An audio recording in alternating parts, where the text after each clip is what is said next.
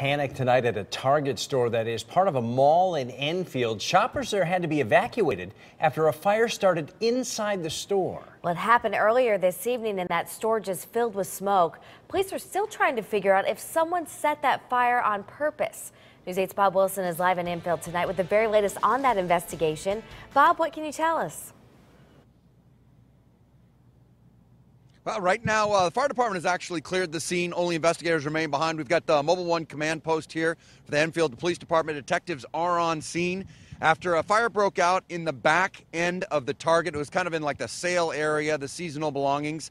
And they said they believe, fire investigators, that it was a giant box of toilet paper that caught fire. They are checking security video right now, and they're also interviewing witnesses to see if they can figure out exactly how that fire started. They're calling it suspicious at this point. However, they're saying that they're not going any further than that. An arson sniffing dog, an accelerant sniffing dog, has been brought in, the canine from the state police, and that dog has been going through the store as well. They're checking all the avenues here. Meanwhile, the fire broke out. The flames didn't get very far before the fire department put it out, but it did put out a lot of smoke. It really charged this whole building, and you can uh, take a look at it. It's a pretty fairly, pretty good sized building, and it's still pu pushing smoke out of it. And it uh, has a pretty good size uh, opening to the mall. So it filled them all up pretty good with uh, smoke, at least in uh, where it does exit into there.